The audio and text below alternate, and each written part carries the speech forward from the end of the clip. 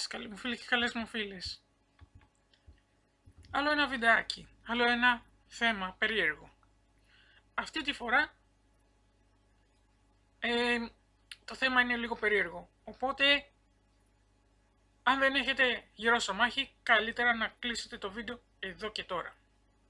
Επίσης, αν τρώτε, καλύτερα να μην δείτε το βίντεο αυτή την ώρα. Δεν σας το συνιστώ. Δεν θα δείξω ακραίες φωτογραφίες, αλλά ίσως κάποια πράγματα που θα ακούσετε να τα βρείτε μετικά ακόμα και στη σκέψη. Και κάτι άλλο. Απλοεπλήσα όσο γίνεται την φρίκη των ασθενειών ε, λεκτικά, αλλά παρόλα αυτά, αν δείξω φωτογρα... φωτογραφίες από αυτές, μάλλον θα φάω μόνιμο μπάνο από το YouTube. Συνεπώς δεν θα μπορέσω σε καμία περίπτωση να σας δείξω φωτογραφίες. Είστε ακόμα εδώ; Ωραία. Ξεκινάμε λοιπόν. Στον κόσμο, καλοί μου φίλοι και καλές μου φίλες, υπάρχουν πολλές ασθένειες. Πιο πολλές από όσες νομίζετε. Αν ρίχνατε μία ματιά μόνο σε ένα βιβλίο δερματολογίας, θα, θα νιώθατε τυχεροί που, σε που δεν έχετε κάποια από αυτές τις φρικτές ασθένειες που αναφέρονται εκεί. Γιατί η αλήθεια είναι πως ο υποφαινόμενος ψάχνοντας για φρικτές ασθένειες αυτό ακριβώς έκανε. Οπότε, αυτό που θα δούμε εδώ είναι κάποιες τόσο άσχημες ασθένειες που κυριολεκτικά δεν θα ευχόταν κανείς ούτε στον εχθρό του. Οι ασθένειες αυτές επιλέχθηκαν με βάση το πόσο κακό μπορούν να κάνουν όχι μόνο σωματικά και ψυχολογικά, αλλά και κοινωνικά στο άτομο. Κάποιες είναι τόσο τρομερές που μπορούν να οδηγήσουν τους ασθενείς να αυτοεξοριστούν λόγω του ότι τους φοβάται ο κόσμος. Αλλά ας ξεκινήσουμε με το νούμερο 5 της λίστας μας. 5. Προοδευτική οστεοποιός εινοδυσπλασία. Πρόκειται για μια πολύ σπάνια κατάσταση που εμφανίζεται σε ένα άτομο στα 2 εκατομμύρια. Είναι μια γενετική ανομαλία η οποία είναι γνωστή ως σύνδρομο του πέτρινου ανθρώπου και μεταλλάσσει τους μαλακούς ιστούς σε οστά δεν έχει βρεθεί σε θεραπεία και χειρουργική αφαίρεση των νέων οστών μπορεί να επιδεινώσει την κατάσταση. Πάμε στο νούμερο 4. Το σύνδρομο του λικανθρώπου. Η μη φυσιολογική τριχοφυΐα στο σώμα είναι γνωστή ως hypertrichosis ή σύνδρομο του λικανθρώπου. Υπάρχουν σε δύο μορφές της ασθένειας αυτής, η κληρονομική και η επίκτητη. Δεν έχει βρεθεί θεραπεία για το σύνδρομο, αλλά η τριχοφυΐα μπορεί να καταπολεμηθεί με λέιζερ. Και τώρα πάμε στο σύνδρομο του πρωτέα, το νούμερο 3. Ο Τζοζεφ Μέρικ έχει μείνει στην ιστορία ως ο άνθρωπος ελέφαντας και ακόμα και σήμερα η ιατρική κοινότητα ψάχνει να εξηγήσει την παραμόρφωση στο σώμα του, αναλύοντας το DNA από το σκελετό του, που διατηρείται στο νοσοκομείο Royal London of Whitechapel. Οι, οι αρχικά οι ειδικοί πίστευαν ότι ο Τζόζεφ που πέθανε το 1890 έπασχε από ελεφαντίαση, εξού και το παρατσούκλι του που το είχαν κολλήσει. Τελικά, από το 2001 και μετά επεκράτησε η άποψη ότι έπασχε από το σύνδρομο έπασχε από το σύνδρομο του πρωτέα, πρώτεου σύνδρομο, μια σπάνια γενετική διαταραχή η οποία, στην οποία το σώμα γεμίζει όγκους και δυσμορφίες. Ο Τζόζεφ εμφάνισε τις δυσμορφίες ήδη από την ηλικία των 2 ετών και μέχρι την εφηβεία του ήταν πλήρως παραμορφωμένος. Όπως ήταν αναμενόμενο, μεγαλώνοντας έγινε θέαμα σε freak show και από αυτά τα χρήματα κατάφερε να ζει.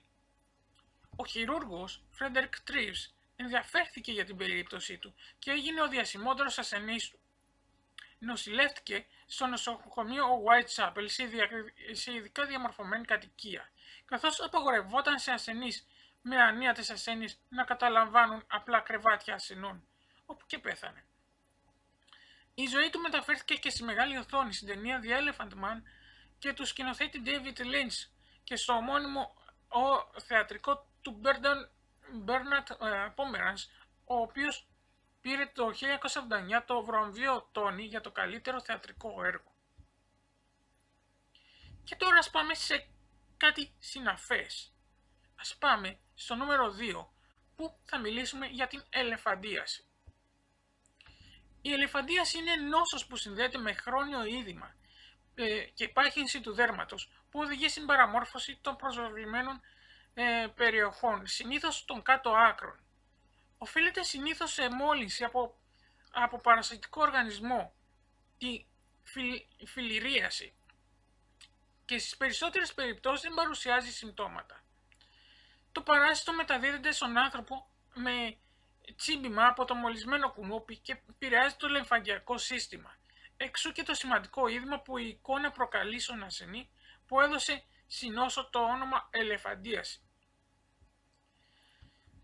Σε κάποιες περιπτώσεις η νόσος οφείλεται σε ανομαλία της λειτουργίας του λεμφικού συστήματος, λεμφιαγκίτιδα, σε συνδυασμό με δευτερογενή μόλυνση. Χαρακτηριστικό της πάθησης είναι υπερβολικά έντονο είδημα στα κάτω άκρα που προκαλεί σημαντική παραμόρφωση του σώματος. Ο συνέπεια του ειδήματος μπορεί να προκύψουν σύνοδα προβλήματα όπως έλκη, ίνωση και κεράτωση του, του δέρματος. Η πάθηση αντιμετωπίζεται χειρουργικά με την μέθοδο του κοντολέοντος που έχει πάρει το όνομά της από τον Έλληνα χειρούργο Εμμανουήλ Κοντολέον που την εισήγαγε. Πριν περάσουμε στην ε, τελευταία ασθένεια, πρέπει να κάνουμε μερικές αναφορές σε κάποιες ασθένειες που για λίγο δεν μπήκαν σε αυτή την πεντάδα. Η ασθένεια Τσουτσουγκαμούση, που υπάρχει στην Ασία και ε, κυρίως στην Ιαπωνία. Λευχαιμία στο δέρμα. Μόλυνση από κυταρομεγαλογιό. Εμοραγική μορφή ευλογιάς. Προγυρία. Και τώρα ας φτάσουμε επιτέλου στην τελευταία ασθένεια που δεν θα ευχόταν κανείς ούτε στον εχθρό του. Νούμερο 1. Η λέπρα. Η λέπρα που αποκαλείται επίσης νόσος του Χάνσεν προκαλείται από το μικοβακτηρίο της λέπρας. Αντίθετα με ό,τι νομίζει ο περισσότερος κόσμος, η ασθένεια δεν έχει εξαφανιστεί.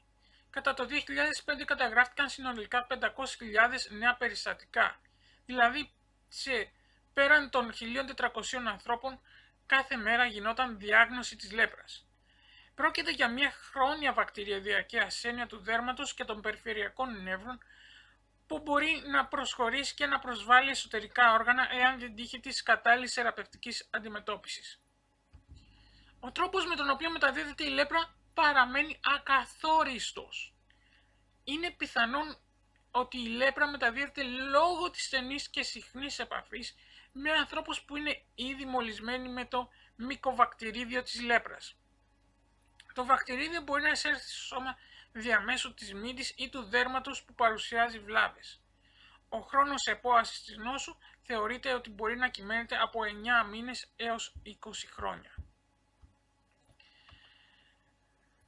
Οι ασθενείς με λέπρα δεν οι ασθενείς με λέπρα που δεν υποβάλλονται σε θεραπεία έχουν εκατομμύρια μικοβακτηρίδια στη μύτη τους που είναι σε θέση να μεταδώσουν την νόσο. Τα συμπτώματα της λέπρας περιλαμβάνουν Πρώτον, το πρώτο σημείο της νόσου συχνά ξεκινά με μια κόκκινη κοιλίδα στο δέρμα που έπειτα απλώνεται παντού. Μπορεί να αλλάζει τη χρειά του δέρματος και των μαλλιών και να τα κάνει πιο ξηρά δημιουργούνται βλάβες του δέρματος, στις οποίες ο ασθενής δεν αισθάνεται. Παρουσια... Παρουσιάζουν αναισθησία, είναι ανώδυνες. Οι βλάβες οφείλονται στην προσβολή των αισθητικών νεύρων. Ε, η αναισθησία που δημιουργείται καθισά τα άκρα ευάλωτα και σε τραυματισμούς ή εγκάβματα που μπορούν να οδηγήσουν σε απώλεια χεριών, ποδιών, των δακτύλων και τους ακροτηριασμούς. Δεύτερον, αιμορραγία και ε, συμφόρηση της μύτης. Απόλυα, τρίτον, απώλεια τριχών στα φρύδια, στα βλέφαρα και αλλού στο σώμα. Τέταρτον, παραμορφώσεις στα χέρια και τα πόδια. Πέμπτον, βλάβες στα μάτια και τύφλωση λόγω προσβολής του οπτικού νεύρου. Η λέμπρα μπορεί να αντιμετωπιστεί με αντιβίωση. Η θεραπεία που ανακαλύφθηκε πριν 20 χρόνια περιλαμβάνει διάφορα αντιβιωτικά που πρέπει να λαμβάνονται για τουλάχιστον 6 μήνες για μερικά χρόνια. Στις περισσότερες περιπτώσεις η δυνατότητα του ασθενή να, μετα... να μεταδίδει την νόσο σε άλλους χάνεται σε μερικές ημέρες έως μερικούς μήνες από την έναρξη της θεραπείας. Δεν υπάρχει εμβόλιο κατά της λέπρας. Όμως το εμβόλιο κατά της φυματίωσης που προκαλεί τη λέπρα είναι συγγενικό του μικροβίου που προκαλεί την φυματίωση. Αυτό ήταν καλό μου φίλοι το βίντεο για τις ασθένειες που δεν θα ευχόταν κανείς ούτε στον εχθρό του. Συμφωνείτε με τη λίστα. Πείτε μου στα σχόλια και μην ξεχάσετε αν είστε για πρώτη φορά στο κανάλι να κάνετε εγγραφή και να πατήσετε και το καμπανάκι. Σας ευχαριστώ πολύ. Γεια σας.